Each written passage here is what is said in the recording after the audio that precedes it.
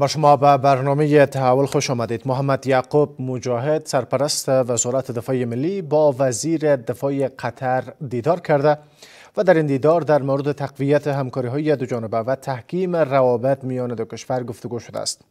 از سوی هم سرپرست وزارت امور داخله با سفیر روسیه در کابل دیدار کرده و دو طرف درباره اوضاع کنونی افغانستان و منطقه ادامه همکاری های دو کشور توسعه روابط دو جانبه و ایجاد همکاری های امنیتی بیشتر گپ زدند. در این مورد همکارم فرزانه غفوری گزارش تهیه کرده می‌بینیم و برمیگردیم با مهمانان گفتگو می‌کنیم.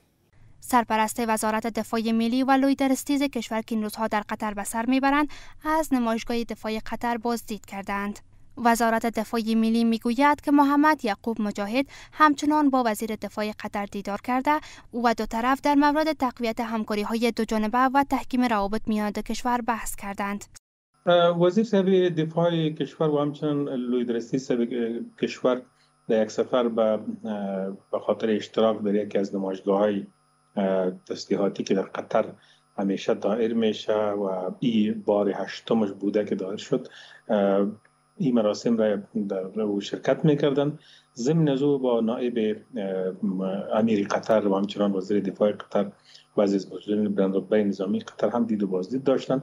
موضوعات هر دو کشور بحث شده و همچنان موضوعات دفاعی و امنیتی هم بحث شده. در کابل هم سرپرست وزارت داخله با سفیر روسیه دیدار کرده است و در این دیدار دو طرف درباره اوضاع کنونی افغانستان و منطقه ادامه همکاری های دو کشور توسعه روابط دو جانبه و ایجاد همکاری های امنیتی بیشتر گفتگو کردند در این دیدار سرپرستی وزارت امور داخله روی تداوم همکاری های میان افغانستان و روسیه در بخش های مختلف به ویژه در زمینه توسعه روابط دو جانبه و تقویت روابط امنیتی تاکید نمودند همچنان در این دیدار طرفین روی وضعیت جاری در منطقه و افغانستان بحث و تبادل نظر نمودند. آگاهان نظامی می‌گویند که هرچی همکاری های امنیتی و نظامی افغانستان با کشورهای منطقه بیشتر شود به همان میزان ثبات در منطقه تامین خواهد شد. رفع نگرانی های امنیتی بشری که دنیا نسبت به امارت اسلامی دارن ایده خصوص امارت اسلامی را کمک کنه منوط به که امارت اسلامی سفرهای خود گسترش بدن رابط خود با جهان مستحکم بسازن با همه قواعد و عرف ملل خود وفق بدن و بپندارن که افغانستان با جامعه جهانی تافته جدا نبافته است. ما هر قدر با جامعه ملل درگیر یا جدال باشیم این به نفع مردم افغان به ضرر مردم افغانستان است. این به ضرر امارت اسلامی است و خوب است که درب تعامل و با جامعه جهانی با جامعه ملل باز شود. دیدارهای مسئولان ارشد امنیتی کشور با مقامهای خارجی در حال انجام می شود که همواره کشورهای منطقه و جهان از این که از خاک افغانستان بر ضد دیگران استفاده نشود ابراز نگرانی می کنند. اما امارت اسلامی بارها اطمینان داده است که خاک افغانستان بر ضد هیچ کشور استفاده نخواهد شد. در این مورد با مهمانانم آقای محمد متین محمد خیل آگاه نظامی اینجا در استودیو. آقای فرهاد ابرار آگاه رابط بین از فرانسه. آقای آصف مبلغ استاد پانتون از ترکیه روی خط اسکایپ با ما است مهمانان رو به بس خوش آمدید میگم. اجازه بدید آقای محمد خیل بس را با شما آغاز بکنیم. آقای محمد یعقوب مجاهد سرپرست وزارت دفاع ملی چرا به قطر رفت؟ بسم الله الرحمن الرحیم سلام بر شما. سخی زاده برای اردو میمان حاضر در بس با همکارای تکنیکی شما و یک سلام خاص به مردم سبور افغانستان. درود بر شما.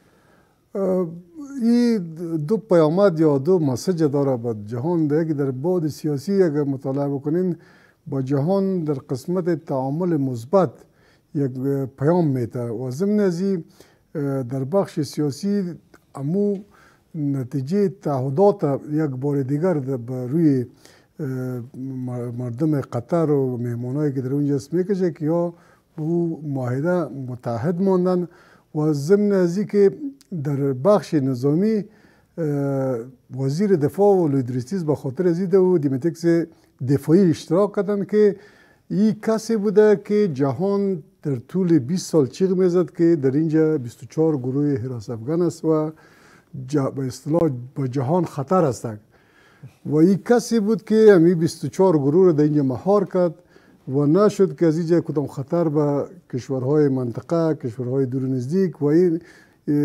ضمن از باید با جهانیان و مهمونایی که در قطر بود قراره که ما معلومات دارم با وزیر دفاع و بله. رئیس با قطری دیدار کرده امیر قطر دیدن کردن و یک تعداد نظامی های از منطقه بنان یک پیام برشون میرسونه که ما با مو تعهدی که در دوحه داشتیم خاک افغانستان در مقابل هیچ کشور استفاده نشده. در طول حاکمیت ما و ضمن از گروه هایی که شما و جهانیان از او حراس می‌کردن ما در اینجا وارا سرکوب ساختیم و از اجازه فعالیت نمیتیم ضمن از از یک نمایشگاهی دیدن می‌کنه که ضروریات افغانستان با خاطر مهار ساختن این گروه هایی که جهان از خطر احساس می‌کنه با کدام ها ضرورت است و چقدر با های پیشرفته ضرورت است؟ منظورتان ضروریات نظامی. نظامی.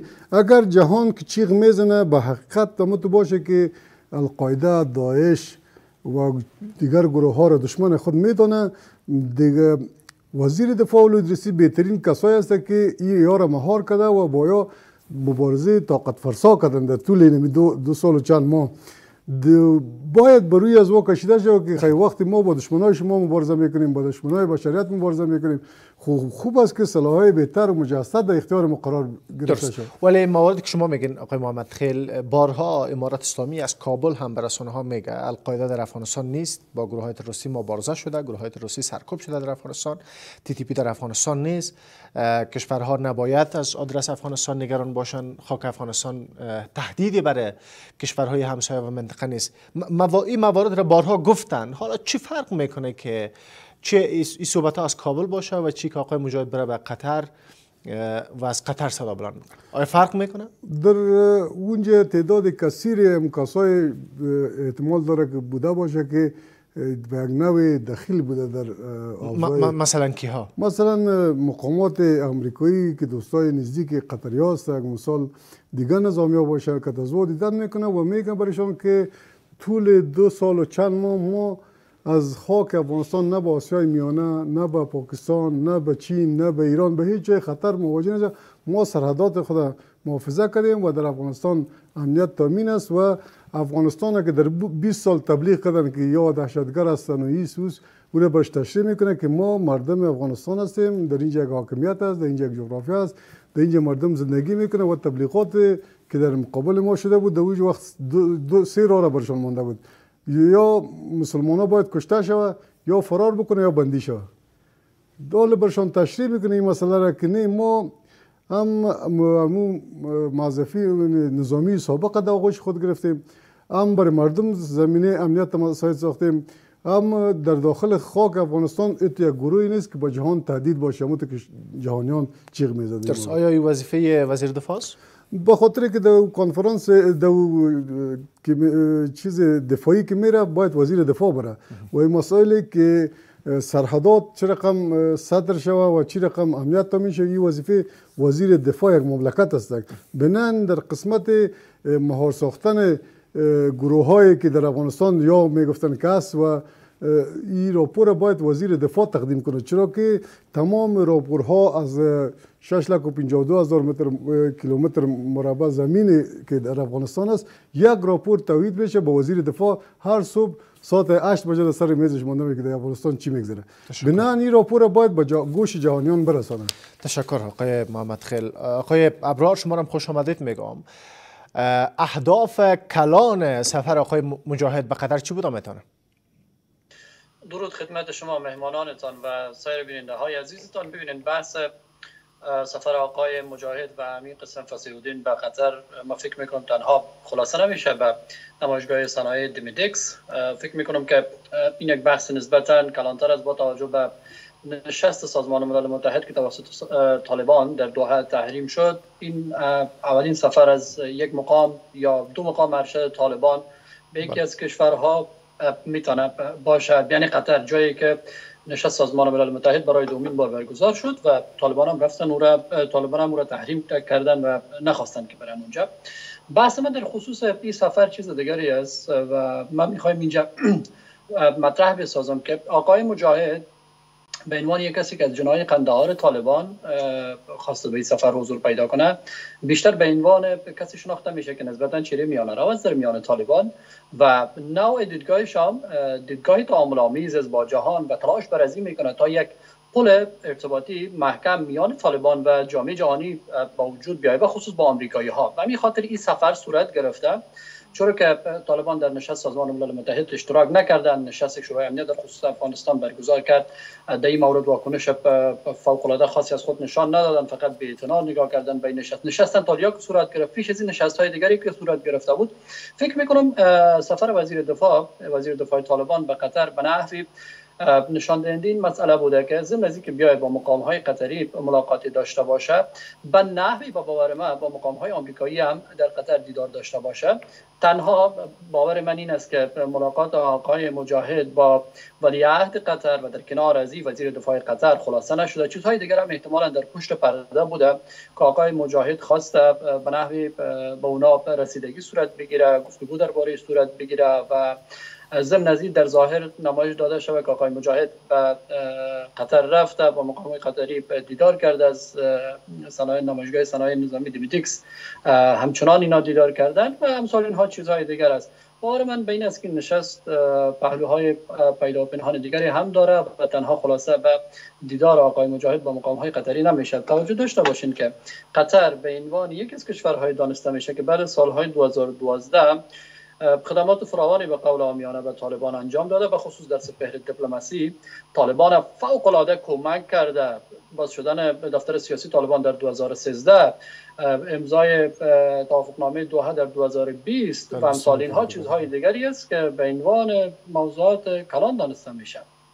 درست. ولی آقای محمد خیل به یک موضوع اشاره کرد. که آقای مجاهد میره با مقام های آمریکایی در قطر از نزدیک صحبت می‌کنه. به احتمال زیاد مسئله تروریسم که همواره همسایه ها منطقه و جهان از او ابراز نگرانی می‌کنه. گزارش ها نشر میشه. روی این مسئله می‌پردازه یا اونا را قناعت میته؟ به قول آقای محمد خیل یا اگر واقعا یک چنین چیزی باشه در افغانستان به احتمال زیاد در قسمت نیازهای نظامی از اونا کمک می‌گیرن.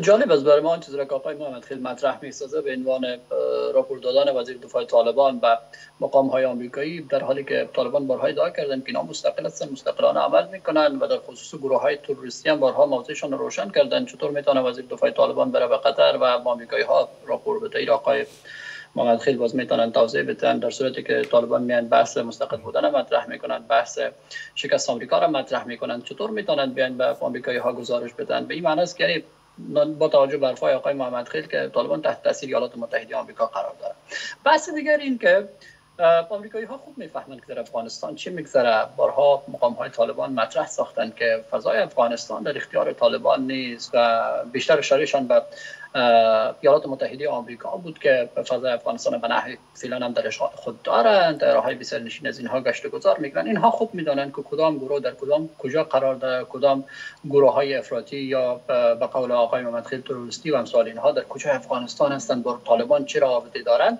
آمریکایی ها کور نیستن کر نیستن به سادگی هجمون جهان نشدن. فکر می‌کنم که به مراتب بیشتر از چیزی که ما می‌فهمیم در اختیار دارن اطلاعات فوق العاده در اختیار دارن و همه چیز در اختیارشان است. تعاملاتی که وجود داره تعاملات پیدا پنهانی که با طالبان وجود داره.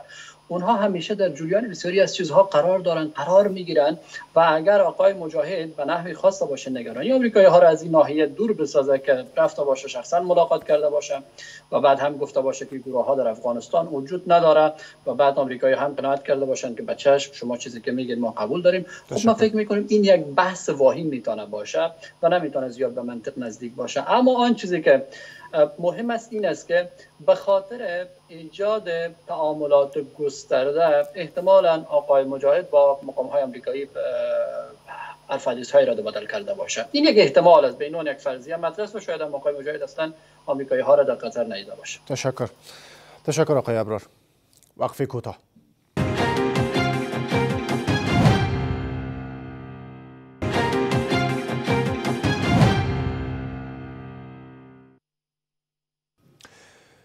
با ادامه برنامه باز هم خوش آمدید. آقای مبلغ شما هم خوش آمدید میگم. به ابعاد پیدا و پنهانی سفر چگونه باید دید؟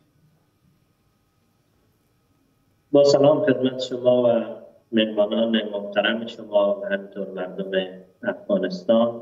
درود بر شما. خب من فکر می‌کنم به همون شکلی که دوستای دیگر هم اشاره کردن چند تا بحث می‌تونه مطرح باشه یکی بحث تفاوت دیدگاه در بین طالبان در خصوص تصویب قطنامه های شورای امنیت بحث طرح آقای سنیردی اولو و همینطور ایجاد دیالوگ بین الاقوانی به واسطه شورای امنیت سازمان ملل و حضور کشورهای کلان دخیل در مسئله افغانستان. خب طیفی که مخالف قضیه بودن حرفشان به کرسی نشاندن و طالبان در گفتگوی دو حقایق بود من فکر می‌کنم این هم از لحاظ پرستیج برای طالبان هم از لحاظ پیامی را که به کشورهای مختلف دنیا مخابره کرد یک سیگنال خیلی مثبتی نبود. بنابراین در مرحله دومی که شورای امنیت راجع به این مسئله جلسه برگزار کردن آقای بنت خواستار مجازات های شد و در طرح آقای سنلی و علوم هم بعد از موارد پیش بینی شده. بنابراین من فکر می‌کنم که آقای یعقوب رفت به دوحه به جایی که امروز در حقیقت محور اجرای سیاست های منطقه‌ای آمریکا هست. در سابق پاکستان را محل برای اجرای سیاست های منطقه‌ای آمریکا می‌گفتن اما امروز این محل تغییر کرده از پاکستان به قطر و کشورهای خلیج. و در آنجا ممکن هست که پیام نرمش آمیزتری و کشورهای کلان دنیا داده باشه و واسطه قطری ها و همچنین اگر ملاقات های جانبی صورت گرفته باشه. یک مسئله.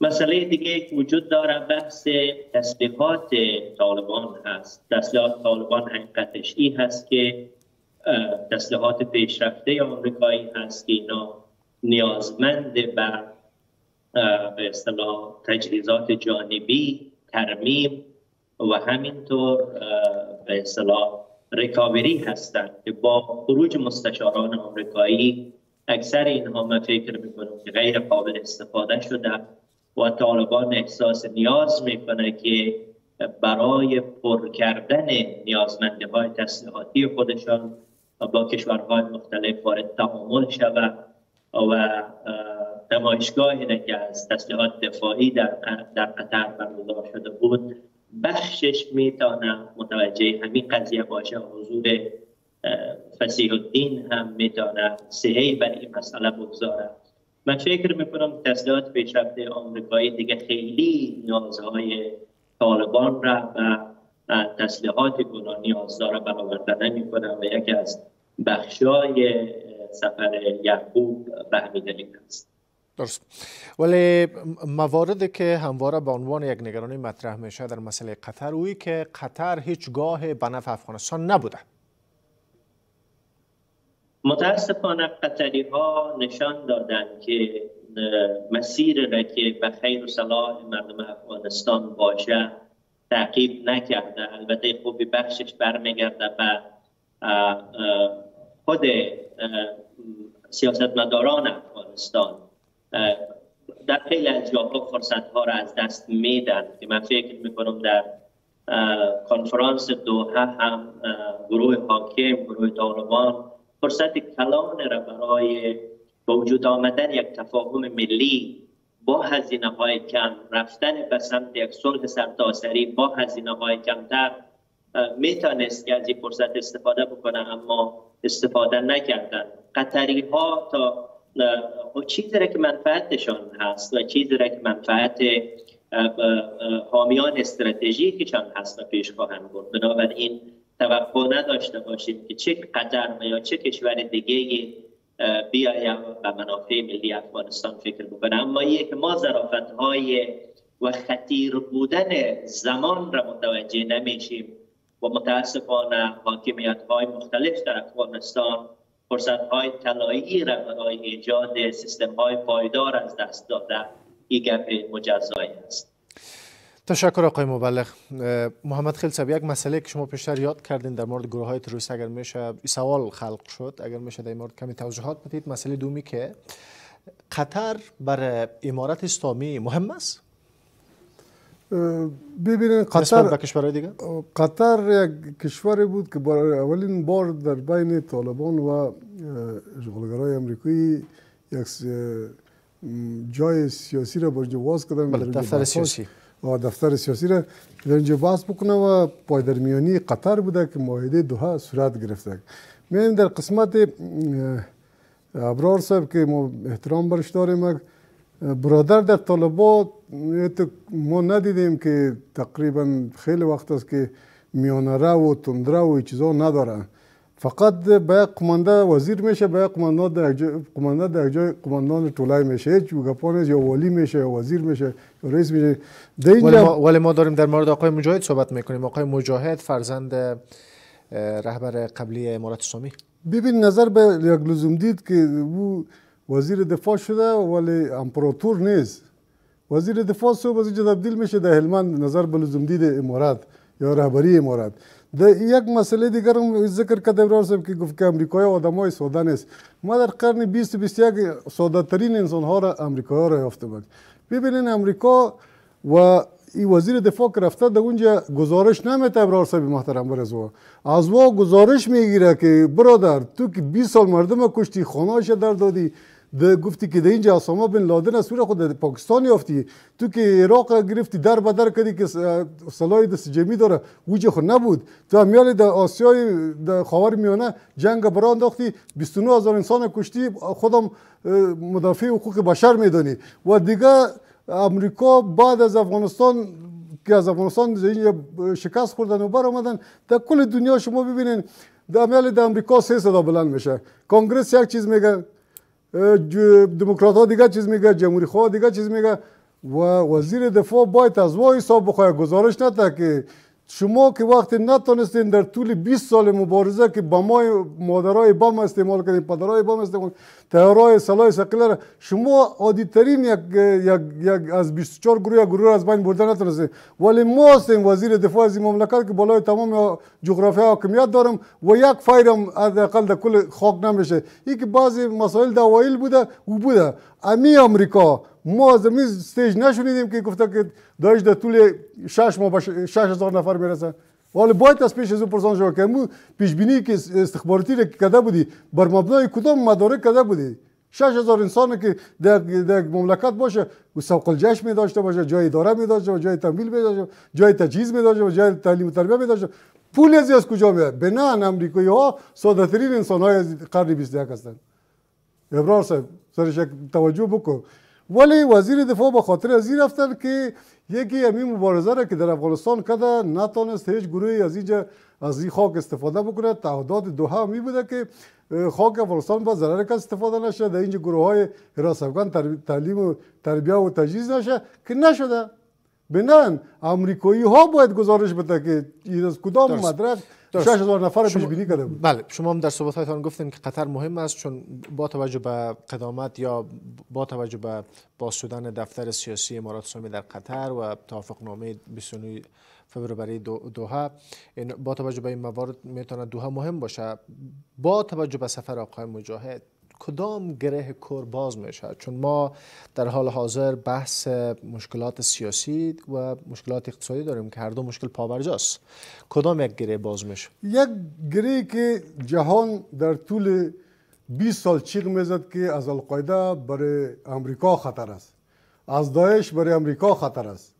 اینی گروه ها دیگه در افغانستان وجود نداره و سر کزر مملکت کشیده تعقیبش کنه امریکا در اونجا. این گزارش باید برازیا در گوش برازیا باید قناعت داده شود که مردم افغانستان دیگه اتحاد اتفاق می‌خواهد. مردم افغانستان دیگه جنگ نمی‌خواهد. جنگ تنها برای ما در طول 43 سال از یک طرف نه یک طرف تعمیل یا از شرق یا از غرب. ما خود ما جنگجو نیستیم نه سر ما بازور جنگ تعمیل شده. خب حالا چی کنه برای دنیا قناعت بدی؟ چی کنه بر کشورهای همسایه قناعت بدی؟ باید وزیر دفاع برای عین وقت که یک مبارز خوب یک شجاع خوب بوده که یاد 20 سال با بزرگترین سلاح مهار نتونسته نی مهارش کرده. تشکر. تشکر آقای محمد خیل. ابرار صاحب پیش از که به شما برگردیم وقفه می‌گیریم. وقفه کوتاه.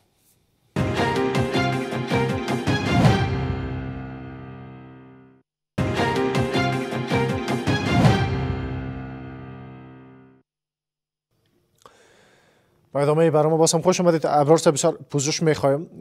در طول دو سال و هشت ماه یا دو کم و بیش سه سال با حاکمیت دوباره امارات اسلامی بحث نوامن شدن کشورهای همسایه افغانستان بارها مطرح شده. بحث گروه های تروریستی بارها مطرح شده.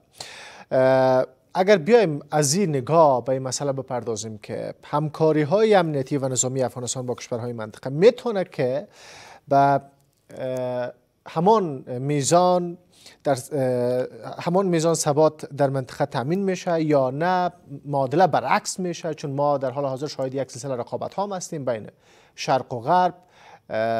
با توجه به نشست سازمان ملل با توجه به که نشست دوحه تحریم شد از سوی امارات اسلامی.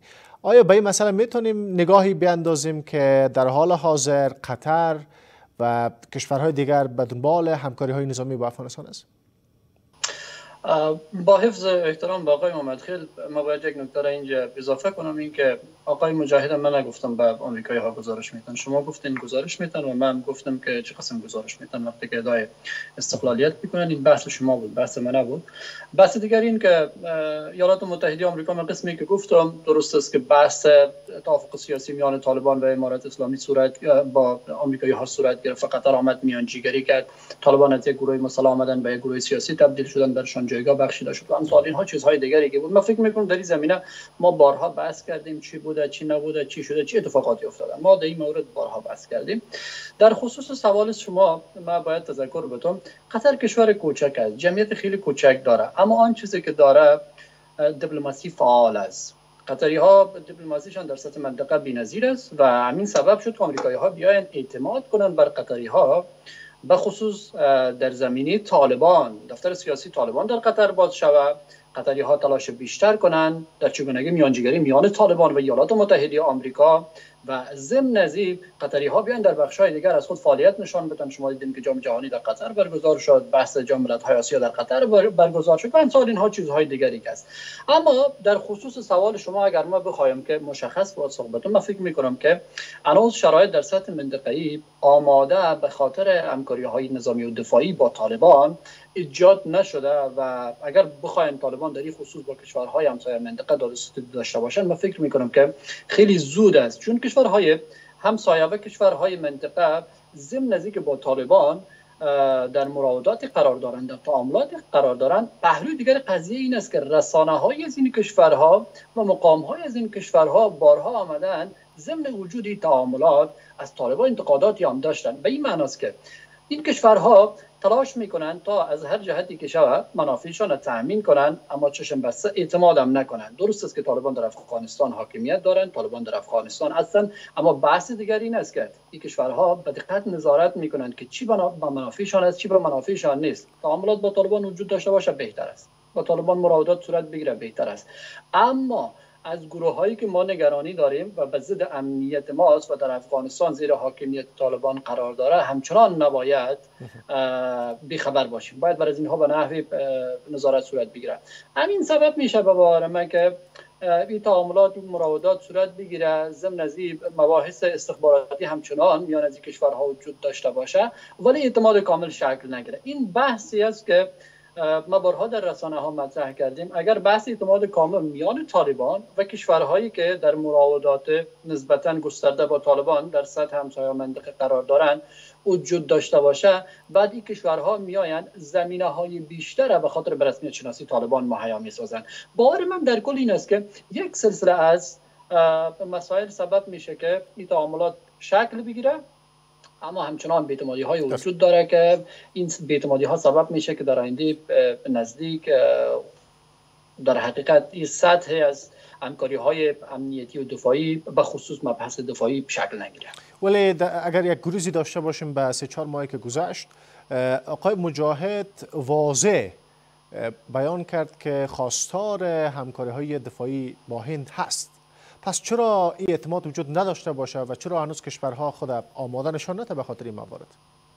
ببینید آن چیزی که مطرح میشه از جانب یک طرف مطرح میشه از طرف دیگر در خصوص از اون بحثی که مطرح میشه فکر می‌کنه. میای منافیش سبوک سنگین می‌کنه. کشورها در تعاملاتشان با کشورهای دیگر یا واحدهای سیاسی به خاطر از اینکه بتانند در ارتباط بهتر با کشورهای دیگر قرار بگیرن اولین چیزی که مد نظر می داشته باشند بحث منافعشان است. منافع ملیشان بحث دوم امنیت ملیشان است. این دو تا مبحث مبحث خیلی اساسی است. بحث سوم این است که در صورتی که تعاملات شکل می‌گیره آیا منفعتی وجود می داشته باشه و اگر این منفعتی منفعت وجود داره این منفعت در کدام سطح هست؟ آیا ارزش به شکل گیری این تعاملات داره یا نداره؟ آن چیزی که از طرف طالبان مطرح شد هندوستانی ها تا کنون به او پاسخ خیلی مثبت ندادن. حتی بحث سفارت افغانستان به نام جمهوری اسلامی افغانستان ختم کردن هندوستانی ها. برن ما فکر می‌کنم که هندوستانی ها تا کنون اعتماد لازم بر طالبان ندارن و همین سبب میشه که خیلی محتاطانه عمل کنن و ضمن از کشورهای دیگر هم هر از گاهی که از مراوداتشان استعمالاتشان بحث می‌کنن نگرانی هایشان هم مطرح می‌سازن. چیلی ها نگرانی های دارن پاکستانی ها نگرانی های دارن ایرانی ها نگرانی های دارن تاجیکستانی ها نگرانی های دارن ازبکستانی ها نگرانی های دارن روس ها نگرانی های دارن.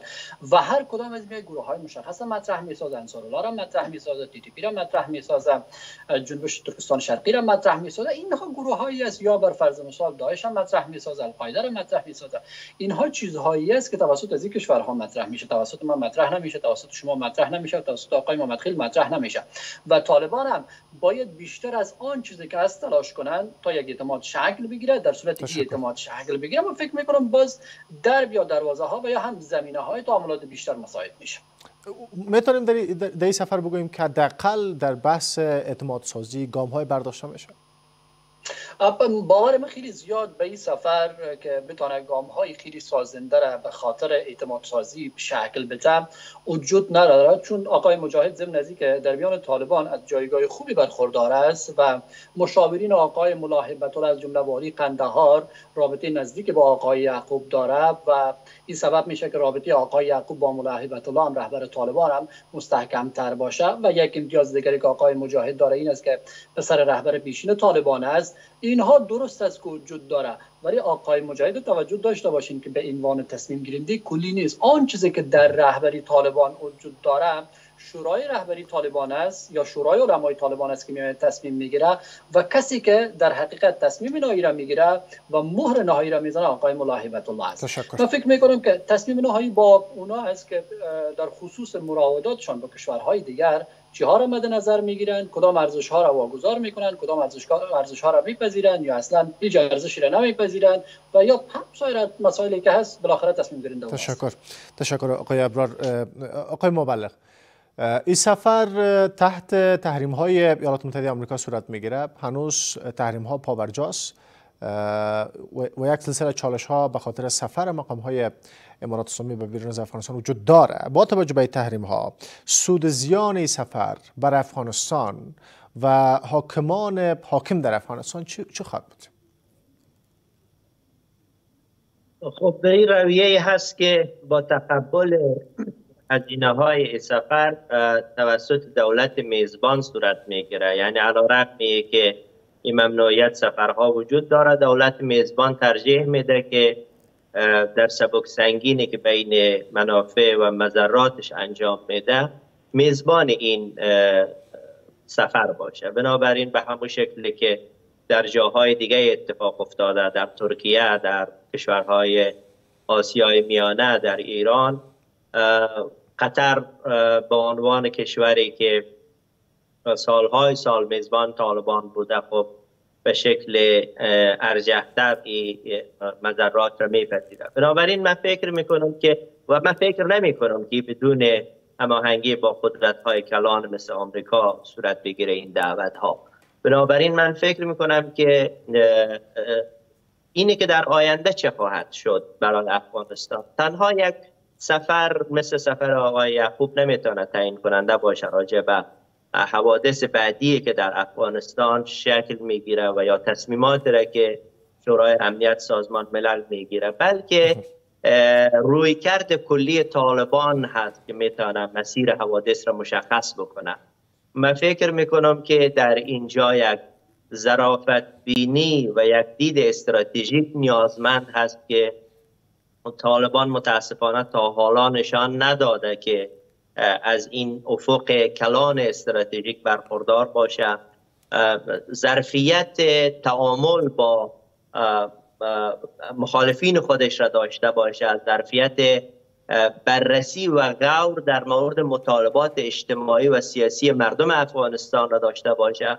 چون شما می‌فهمید که مردم افغانستان مخصوصا نسل جدید در افغانستان دارای مطالبات بسیار بسیار واضح از نظر سیاسی از نظر اجتماعی و از نظر حقوقی هستند بنابراین طالبان دو نوع رویه می‌تونه داشته باشه یکی مسئله انکار هست که تمام اینها رو انکار بکنه و بگه که به اصلاح این مطالبات را ما به رسمیت نخواهیم شناخت تا رویه که تا حالا روی دست گرفته و یا ای هست که با واقع بینی بیاید. و برای نحوه پاسخ دادن به این مطالبات بسیار بسیار فراوان اجتماعی، سیاسی، مذهبی، زبانی که در جامعه متنوع افغانستان وجود داره و از بین نخواهد رفت. این این این, این مطالبات همیشه در طول تا بعضی ها بعضی از این مطالبات آنقدر عمیق هست که عمرش به عمر حکومت های اصر جدید افغانستان نظام های عصر جدید افغانستان برمیگردد. این مطالبات مطالبات جزئی نیست. این مطالبات مطالبات ریشهدار تاریخی هست مخصوصا در قبل در خصوص اقوام افغانستان. یک بار میآید طالبان اینا رو نفع و انکار می‌کنه این خطایی هست که رژیم های گذشته هم تکرار کرده. این ما رو به ثبات نخواهد رسانید. این ما رو به صلح پایدار چه از لحاظ سیاسی و چه از لحاظ اجتماعی نخواهد رسد بلکه به عمیقتر شدن گسلهای اجتماعی از یک طرف به دامندارتر شدن و کشدار شدن مبانی نزاع در افغانستان از طرف دیگه و به همچنین زمینه مداخله کشورهای خارجی را مهیا خواهد کرد. اما اگر یک طیف باشه در داخل طالبا که بگه از این فرصت استفاده کنیم برای پاسخ دادن منطقی به مطالبات مردم افغانستان جریان های سیاسی افغانستان اقوام افغانستان. در اون زمان مبارک هست و من فکر می‌کنم که هیچ کدام از مخالفین سیاسی طالبان هم امروز خواستار ورود به یک تقابل نیستن. اما این به این مفهوم نیست که مردم افغانستان و یا جناهای سیاسی از مطالباتشان منصرف میشن. نه خیر اینا بعضی از مطالبات ریشه به عمر تاریخ افغانستان جدید دارد درست. در کنار, در کنار سفر آقای مجاهد امروز آقای عقانی سرپرست وزارت مداخله با سفیر روسیه هم دیدار کرده در کابل و دو طرف درباره همکاری های امنیتی بیشتر گپ زدند. آیا مسئله امنیتی در حال حاضر اولویت داره با توجه به سفر آقای مجاهد به قطر و کشورهای همسایه منطقه جهان؟ چون اگر در گذشته نشست می‌شد از آقای متقی دعوت می‌شد سرپرست وزارت خارجه. حال می‌بینیم که آقای مجاهد سفر می‌کنه به قطر.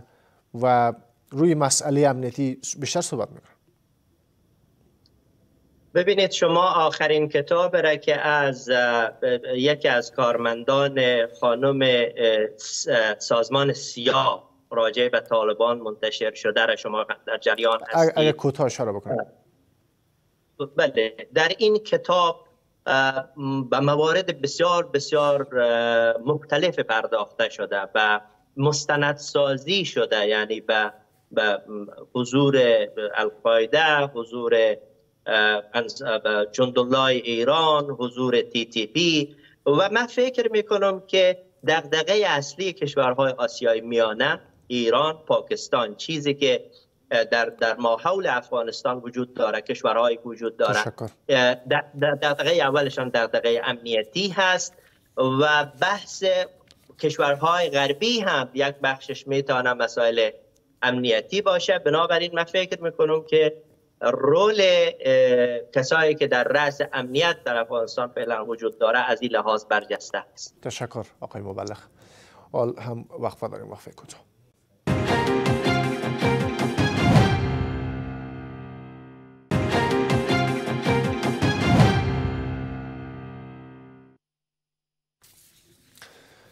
با ادامه برنامه باز هم خوش آمدید محمد خیل صاحب اجازه بدید بحث را جنبندی بکنیم. بالاخره راه حل چی هست؟ می‌بینیم و بررسی می‌کنیم که مسئله امنیتی برای کشورهای همسایه منطقه جهان بسیار مهم است. حتی اگر سفیر روسیه هم باشه یا مقام های قطری باشه در کل بحث روی مسائل امنیتی است. چه زمانی کشورهای همسایه کشورهای منطقه و جهان روی صحبت های امارات اسلامی اعتماد می‌کنه و چه زمانی پروندی این گروه های تروریستی در افغانستان بسته میشه خب ما با سوال شما میایم پیش از باید یک گپ تصحیح بسازیم که جناب ابرار صاحب میگه که آجی متین گفته که گزارش میته با امریکا. شما فکر کنم اگر گفتین ما تبادل نظر گفتم. من حیث یک جغرافی مستقل من حیث یک آدم مستقل وزیر دفاع میره در اونجا که از صحبت می‌کنه. و اگر مسئله گزارشدهی می بود جمهوریت واره دیگه 20 سال جنگ نمی بود چیزی کم یک میلیون انسان در اینجا شهید نمی‌شد. بر صورت رای حلی است که ما در داخل بین اقوام خود گام های بسیار کلان داریم با یا بشینیم با اتفاق اتحاد مسئله تعصب این مسائل از بین برده شود و این مسائل داخلی است داخلی و در بود خارجی بود جهانی ما بیشتر روی مسائل امنیتی گروه های تروسی صحبت می‌کنیم که مطمئنا هیچ ربطی به این مسائل داخلی نداره. خب بده بود امنیتی خب وزیر دفاع کس است که نفر اول در قسمت امنیت امید کس است که گزارش برشون میته اگر گزارش چی رقم میته که در افغانستان دیگه گروه هایی که شما پیش بینی می‌کردین و 6000 دایش را که شما پیش بینی کردید در افغانستان نیست. اگر شما می‌بینین که در فلانه کوردینات 6000 نفر است یا در فلانه منطقه است میشه که امور که ما شریک بسازیم. ما یک محل قمانده تویدی جور بکنیم که گزارشات استخباراتی شما بر ما داده شود که کی در کجا چی رقم موقعیت داره. بنان وزیر دفاع یک بار دیگه بر تمام کشورهایی که در اونجا داخل هستند میگن که افغانستان یک جغرافی مستقل است یک حاکمیت مستقل است یک خاک مستقل است و با ارائه کردن سیاست متوازن. هم به امریکا دوست خوب است هم به چین دوست خوب است هم به روسیه بنابر منافع ملی کشورش با کلگی یک دوستی متوازن داره. و هیچ کشور را نمی‌خواه که از خاک افغانستان متضرر شد درست ولی این نگرانی ها هنوز پایان نیافته. آقای محمد خیل من از ما پرسان کردم که چه زمانی همین پرونده بسته میشه؟ چه زمان کشورها به صحبت های امارات اسلامی اعتنا می‌کنن ببینید سخیزاده صاحب اینجا تقابل منافع است. خود با تقابل منافع شرق و غرب است چین است روسیه است. هر کس هر وقتی که امارات اسلامی یک تعامل مثبت با امریکا نزدیک میشه روسیه یک صدای خود می‌کشه. وقتی که با وزیر خارجه روسیه میشینن امریکا میگه اینجا چیز یعنی تمام کشورها بنابر منافع ملی وطن خود یک موضوع را بالا می‌کنه و نمی‌خواه که جایی که 20 سال امریکا در افغانستان سروی کده او را مفت به چین لابطه یا به روسیه لابطه. بنان این تقابلات و این تناقضات دوام داره. این راه حل تا نداره تا که خود از این مردم قناعت نکنه سر تشکر. تشکر آقای محمد خیل. ابرار صاحب راه حل چی است؟ خب محمد خیل صاحب اگر برنامه را ببینن باز می‌فهمند که چی گفتن. بله. خدا نخواسته نباشه که من تهمت کرده باشم بهشان چیزی که گفتن من خواستم که او را برشان یادآوری کنم که شما گفتین که وزیر دفاع طالبان به آمریکایی ها گزارش میده بر صورت بحث داخلی افغانستان باید سه تا مبحث گرفته شود. طالبان مخالفان سیاسی و مردم افغانستان در بود داخلی. این سه تا ما فکر می‌کنم مهم است. چون ما مردم افغانستان داخل قرار میدیم چون متاسفانه مردم افغانستان شبیه کشورهای جهان اول تصمیم گیرنده نیستند بلکه گروه حاکم هر گروهی که باشه نه طالبان پیش از هم مثلا مقام های دیگری بودند پیش از او بر فرض مثال کسای دیگه بودند کسای دیگه بودند اینها در حقیقت با مخالفان سیاسیشان هر وقتی که جور میان بعد باز مردم افغانستان در جایگاه سیام قرار می‌گیره که مردم هم میپذیرن میگن هر چی خاص روزای خدا بود بحث دیگر بحث خارجی قضیه است. ببینید در دو سپهری را خلاصه می سازیم سپهر منطقه‌ای و حامیان طالبان که در تعاملات با طالبان قرار دارند و سپهر فرا منطقه‌ای. در سپهر منطقه‌ای کشورهای که در همسایگی افغانستان در تعاملات با طالبان قرار دارند و کشورهای چون روسیه و چین و امثال اینها به عنوان قدرت های بزرگ جهان مطرح میشن. همچنان در تعاملات با طالبان قرار دارند و در فرا منطقه ما میایم در سپهر تنها غرب قرار میدیم. غرب وقتی قرار میتیم سپهر غرب با سپهر کشورهای همسایه منطقه به نحوی در چگونگی بعضی از مسائل و یا هم شکلگیری بعضی از مسائل با همدیگر توافق نظر ندارند. و این در حقیقت سبب میشه که نوع نگاه به طالبان نظر به زمان بیای تغییر کنه. من یک مثال از این را می‌تونم با توجه به نشستی که توسط سازمان ملل متحد در دوحه برگزار شد برای شما بتون در نشست دوحه تلاش بر از صورت گرفت که باید یک نماینده صلح بر افغانستان انتخاب شود. روس ها چینایی ها و ایرانی ها شدیدا تلاش کردند تا این نماینده تعیین نشد یعنی به نحو این نشست آمدن به یک طرف دیگر کشاندن. و این سبب شد که در حقیقت و شاید هم تا به طالبان مشورت داده باشند که شما در این نشست اشتراک نکنید. بر صورت من فکر می کنم که این تضاد دیدگاه تا دیر زمانی اگر وجود داشته باشه وضعیت در افغانستان هم متاسفانه با چالش های گوناگون مواجه میشه و احتمالا که طالبان با چالش های مواجه شن بنان باور من این است که در سپهر امنیتی تا کشورهای همسایه منطقه اعتماد لازم از جانب طالبان کسب نکنند تعاملات و مراودات همچنان به می شکل ادامه پیدا می‌کنه و ضمن از تا مباحث سیاسی امنیتی و استخباراتی. میان طالبان و غربی ها به یک نحوی به یک جایی نرسه. من فکر می‌کنم که باز هم بازی های سیاسی ادامه می داشته باشه. در نهایت آن چیزی که می‌تونم بگویم این است که طالبان اگر از اقلانیت سیاسی استفاده کنند تاریخ سیاسی افغانستان را بهتر مطالعه کنند. دیپلماسی که در زمانهای گذشته افغانستان در خصوص کشورهای همسایه منطقه و فراتر از منطقه اتخاذ کرده ایره اگر به درستی مطالعه کنند باورم به این است که به یک نظر به نحوی کوشش می‌کنند بیاین زمینه های بسیاری از مسائل به خصوص تشکیل دولت فراگیر و تغییر و تحول در سپهر سیاسی افغانستان همچنان مد نظر داشته باشه. تشکر آقای ابرار. آقای مبلغ شما فرصت داره. چگونه باید از این سفرها سود برد؟ فکر می‌کنم که اولین مسئله مسئله به تفاهم رسیدن با مردم افغانستان است. یعنی با مردم افغانستان ما باید به یک توافق نهایی برسیم برای پاسخ دادن به مطالبات آنها و یک راه کرده برسیم. و بعد با سیاسیون افغانستان نخبه افغانستان از دل مراودات را که با مردم خود با سیاسیون افغانستان انجام میدیم بتانیم مکانیزم را که عدالت را در این کشور پیاده بکنه بسنجیم. و اما ایه که با کشورهای دیگه چطور ما می‌تونیم که به یک تعامل سودمند دست پیدا بکنیم؟ برمیگرده به وزن ما در به وزن مشروعیت ما در افغانستان. اگر ما از مشروعیت مردمی برخوردار باشیم و اگر بتانیم اصطلاح جایگاه مستحکم ملی به عنوان یک دولت ملی را به خود اختصاص بدیم. او زمان می‌تونیم قدرت شانزنی را به دست بیاریم که از طریق قدرت شانزنی منافع افغانستان منافع مردممان را در سطح بین المللی و در سطح منطقه سیانت بکنیم. تشکر از حضور مهمانان و تشکر از شما که بیننده برنامه تحول بدید. تحول در همه جا به پایان می‌رسد. خدا نگهدارتون.